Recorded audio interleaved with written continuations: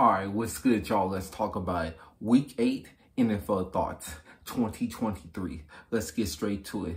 The Bills took care of business at home versus the Buccaneers. The game was too close, way too close.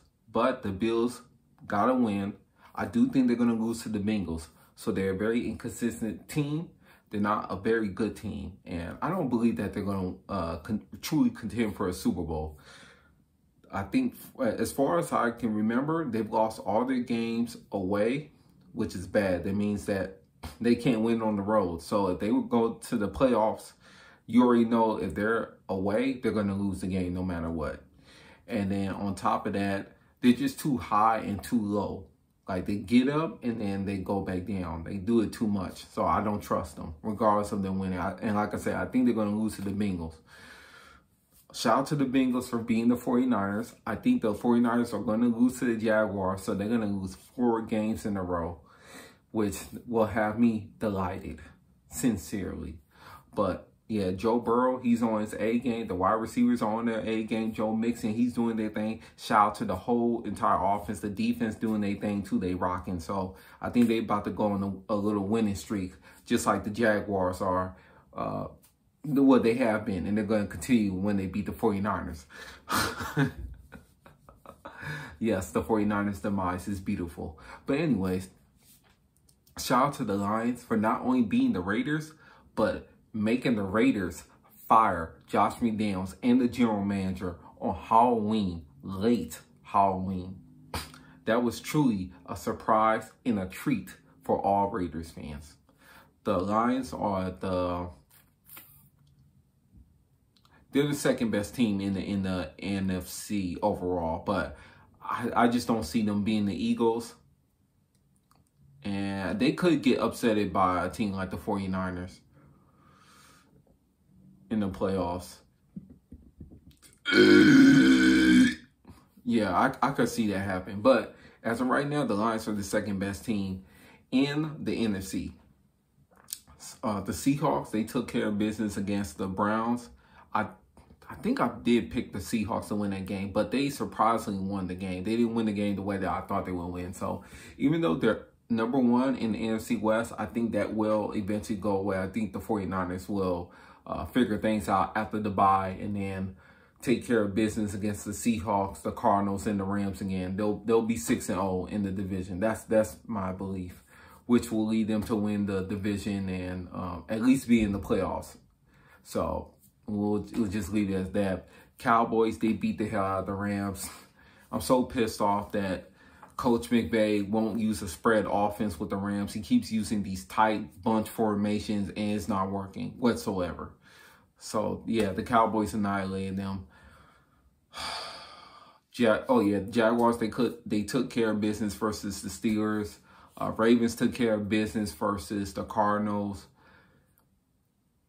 trying to think what other teams. Oh, the Panthers got their first win against the Texans. I'm disappointed in the Texans. Very disappointed in the Texans. Uh, Dolphins took care of business against the Patriots. So, oh, and the Jets won. They beat the uh, Giants barely. Uh, the Chargers took care of business against the Bears, but I think the Chargers are in trouble against the Jets because they're at the Jets, I believe. If they're at the Jets, they're going to be in trouble because all the other good quarterbacks this year that have played at the Jet Stadium have been terrible. So I think um, Justin Herbert is going to be in trouble in that game as well. I'm trying to think what else. I know there's some other games that popped up. Uh, oh, the Titans. Uh, Will Levis went crazy. Four touchdowns, three of them things to um, Hopkins, I think he got three, if not four, but he got majority of the touchdowns. So that's his best game of the season. And Will Levis, he had probably his best game of the season, uh, given the fact that the Steelers uh, beat the Titans today, tonight. Um, yeah, but yeah, I'm trying to think who else. Oh, the Broncos, they upset they upset the world and they played a Super Bowl game against the uh, Chiefs. That was the best one they're gonna have this year. They beat the they beat the yeah they took the Chiefs. I'm more impressed with the defense more than anything. The fact that the defense actually showed up against the Chiefs uh, offense. Chiefs are in trouble offensively. I know they have Patrick Mahomes, but they outside of Kelce, they don't have a true passing game. They don't. They need one legit receiver, and they don't have one right now. They don't. Rashee Rice, he's good. Well, he's solid, but I think he's a year away from actually being uh, reliable, being good. Justyn Ross, he messed up some some uh, he got some illegal issues going on. He's an idiot. And Mecole Hardman, I thought that might spark him, but that's not going to do much. So, yeah, I think offensively they will be in trouble once they get to the playoffs. They're going to make it to the playoffs, obviously, and win their division. But once they get into the actual playoffs, I think they're going to have some trouble. Right now, I think the best team in the AFC is the Baltimore Ravens. I think that's the best team. Um, I'm curious to see how the Dolphins play against the Chiefs because the Dolphins have not been, they have not beat or defeated a very good team this year thus far. All the teams they took down or beat down have been bad teams. So I'm curious to see if they can get the job done in Germany. I believe they're playing Germany against the Chiefs. I'm curious to see.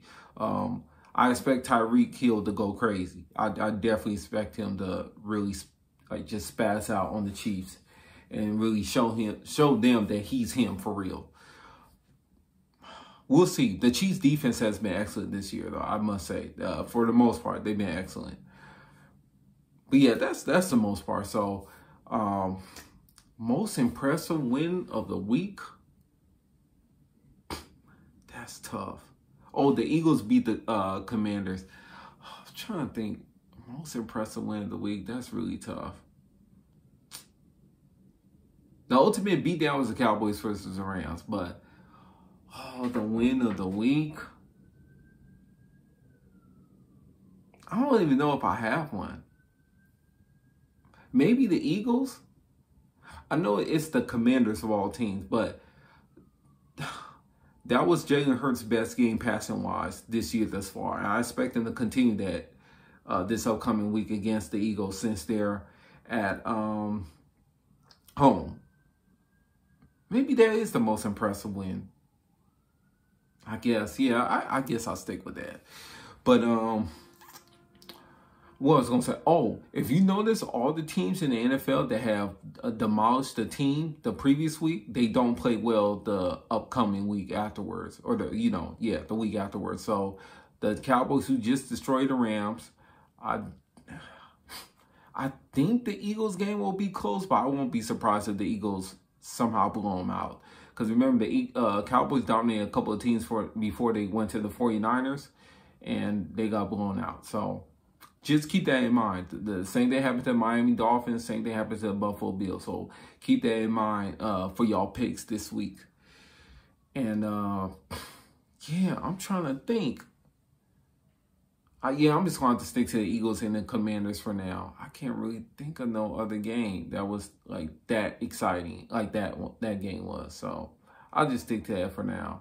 Um, yeah, man. Let me know your thoughts below about Week Eight. What you think is going to happen in Week Nine, or where's your most anticipated game going into Week Nine? Let me know down below. Salute.